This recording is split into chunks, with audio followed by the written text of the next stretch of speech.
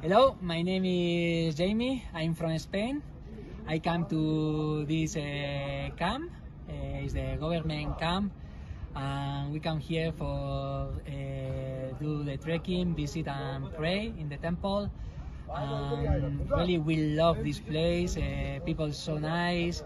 There are uh, toilets around the, the way. There are the people offer you tea, food, just uh, make you feel really like a, it's not a business. It's really like a peregrination uh, place.